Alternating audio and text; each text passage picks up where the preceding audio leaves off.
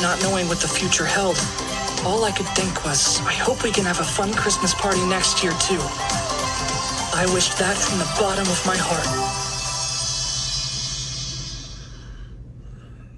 I never left you, and never will. Remember.